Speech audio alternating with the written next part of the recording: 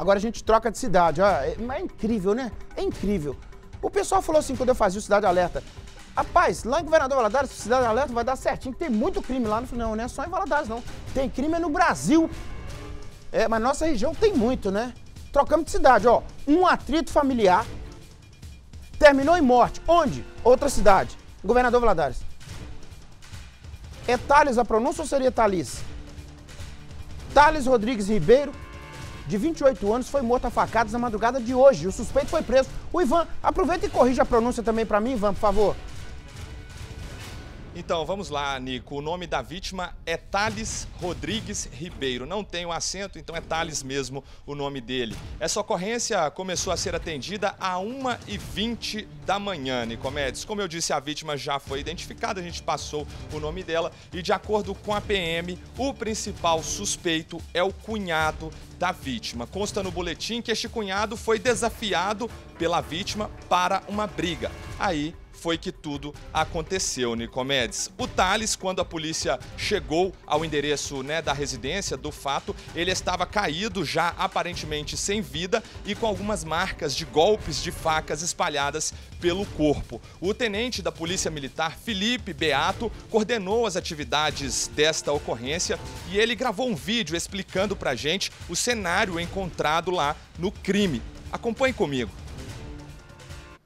Foi feito acionamento da Polícia Militar, que chegou rapidamente ao local, tentou prestar socorro ao cidadão, porém, aparentemente, ele já estava sem vida no local. Foi feito acionamento também do SAMU, posteriormente do Serviço de Verificação de Óbito, e o autor foi preso em flagrante, conduzido até a delegacia, onde foi ratificado o flagrante dele. O autor aguardou realmente é, a chegada da Polícia Militar. Quando a polícia chegou, ele de pronto se se é, identificou como sendo o autor, falou que tinha cometido o crime, explicou a motivação que já havia é, recebendo diversas ameaças e sendo vítima de diversos outros crimes por parte do, da vítima, como pequenos furtos dentro da residência para o consumo de droga, a saber aí crack, e a própria irmã da vítima, que é a esposa do autor, confirmou a versão do, do autor aí, é, dando conta de que realmente é, aquilo vinha acontecendo.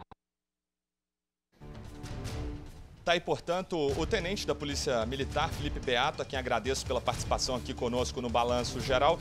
Nicomedes, para a gente finalizar, a perícia da Polícia Civil não conseguiu precisar quantas facadas foram desferidas, mas pelo menos oito perfurações foram identificadas na região do pescoço e do tronco. Eu volto com você aí no estúdio, Nico. É, é, é maldade, né? É maldade, Ivan. É maldade, atrito familiar, né? Não existe mais diálogo, né, rapaz? Em atrito não pode ter vencedor, não, rapaz. Tem que ter o, o ponto comum. Todo mundo perde, todo mundo ganha para chegar no acordo. Ué, aí tem um ser humano que só quer ganhar. Só ele que ganha, só ele que ganha, só ele que tá certo, só ele que tem razão. A minha palavra que vale. Eu que sei tudo. Eu que sou justo, eu que sou probo, eu que sou reto. O outro é tudo errado. Tudo do outro é suspeito. O meu é tudo certinho. É ser humano. Obrigado, Ivan. Por sua informação, daqui a pouquinho está de volta aqui no BG.